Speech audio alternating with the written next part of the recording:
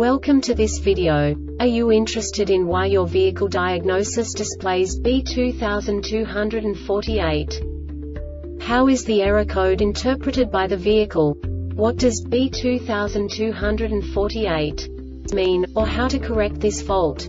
Today we will find answers to these questions together. Let's do this. First, let's look at the history of diagnostic fault code composition according to the OBD2 protocol, which is unified for all automakers since 2000. We divide the electric system of automobile into the four basic units. Powertrain, body, chassis, network. This distribution is defined in the first character code. If the second character is expressed as zero, it is a standardized error.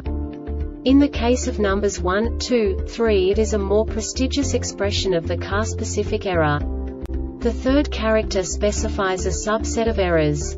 The distribution shown is valid only for the standardized DTC code. Only the last two characters define the specific fault of the group. Let's not forget that such a division is valid only if the other character code is expressed by the number 0.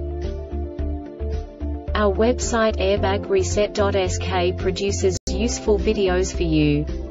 You do not have to go through the OBD2 protocol anymore to know how to troubleshoot any car breakdown. You will find all the diagnostic codes that can be diagnosed in Acura vehicles. Also many other useful things. The following demonstration will help you look into the world of software for car control units. You unbelievably can move the video a bit further. The error code is split into two bytes consisting of 16 bits. One bit is the basic unit that each computer works with. The bit has two logical states. 0, low level, 1, high level. By combining the first two bits, the basic character of the error code is expressed. The next two bits again determine the second character. The last beat styles of the first byte define the third character of the code. The second byte is composed of a combination of 8 bits. The first 4 bits determine the fourth character of the code. And the combination of the last 4 bits defines the fifth character.